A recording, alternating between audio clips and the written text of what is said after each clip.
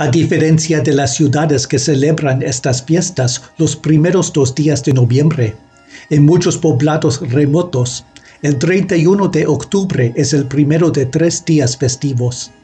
Los festejos de este día están dedicados a los niños y jóvenes. Con orígenes en costumbres tanto indígenas como europeas, los días de los muertos son las festividades mexicanas más reconocidas en el mundo entero.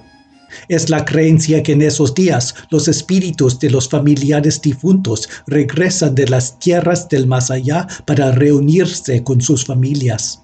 Esta reunión familiar yo la llamo el Día de dar gracias de los vivos y los difuntos. Los participantes vivientes acomodan fotos e imágenes de los rememorados sobre el altar hogareño. En Cruz Blanca los arreglos en los altares estaban casi completos. Con el permiso de las familias, presenté dos altares, mostrados aquí como se vieron a la luz de día. Los diseños individuales son variables, pero siguen un esquema general consistente. Un arco de hojas de palma con manojos de flor de la caléndula, localmente llamada cempasúchil. Este altar tiene guirnaldas colgantes de plátanos y espirales radiantes de palma.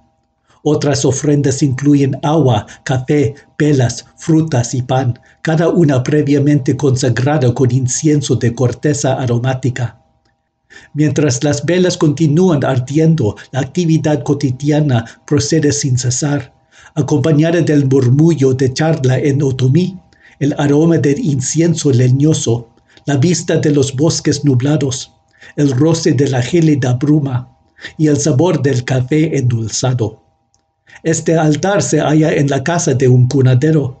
Hay también una variedad de ofrendas rotantes para los espíritus de familiares difuntos.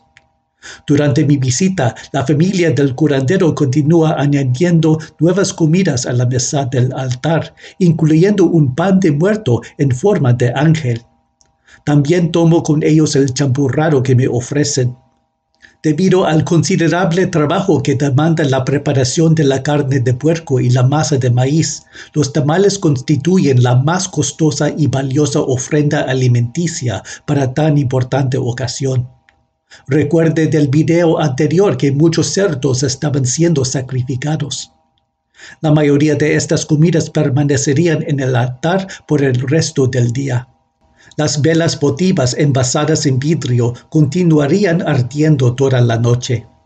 Los muchachos y hombres jóvenes encendían cohetes y petardos ensordecedores sin cesar y con gran desenfreno por todo el día y hasta entrada la noche.